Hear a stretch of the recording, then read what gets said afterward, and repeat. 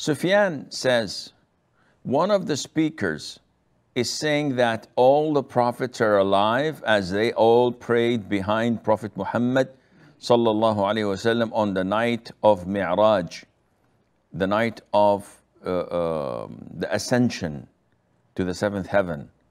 And he says, as prayer is prescribed only for the living.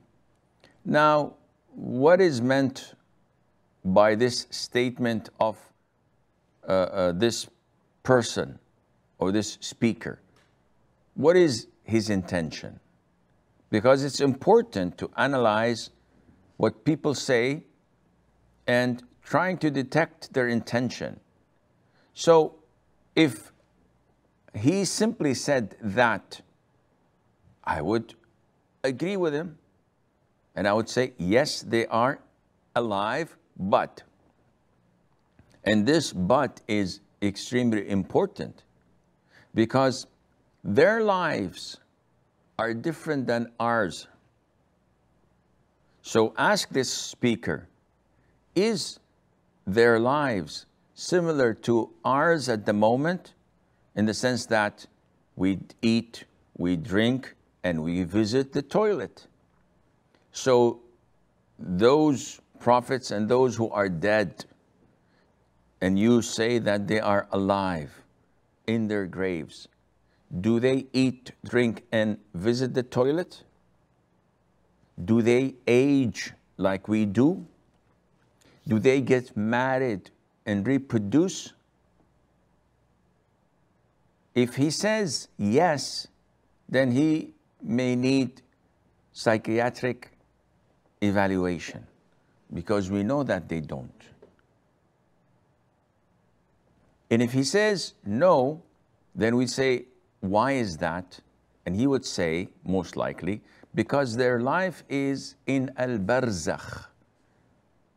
And we know that we have three stages of lives the life of the dunya, which we live in and which we die in. Then we move after death to the life of the barzakh, which is a transitional period between this dunya and the akhirah. And then we have the life of the akhirah, which is eternal, without an end. And this is where people go to paradise or go to hell. May Allah protect us. So if he acknowledges that they are alive in al barzakh, in this case, we have no dispute. But if his intention, which is most likely, is that they are alive, hence we can call them and they can hear us and they can respond to us and they can benefit us and protect us from harm then this becomes a total different ball game.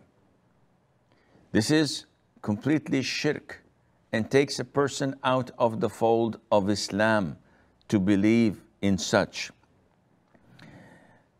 Being alive in the graves does not mean that they can respond to us when we call them. As we know from the Quran and the Sunnah that we're not allowed to call anyone except Allah Azza wa Jal. So all those who had died cannot know what we say to them and what we ask of them, and they don't know what's happening to us. And this is why in the mutawatir hadith, the Prophet والسلام, when he mentioned the hadith of the pool on the day of judgment, he said that there will come people from my ummah whom I recognize, and they will be sent away and prevented from drinking from the pool. And I would say, They are my people. Why are you doing this? And I will be answered by you, O Muhammad. Don't know what they've innovated after you, which means that you were dead and you did not look at them, you did not see what they had innovated in Islam.